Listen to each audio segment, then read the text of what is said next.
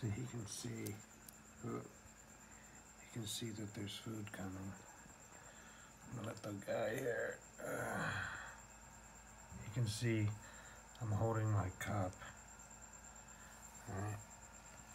And this is the cup of food that I usually give him. Oh, Bubba. There you go.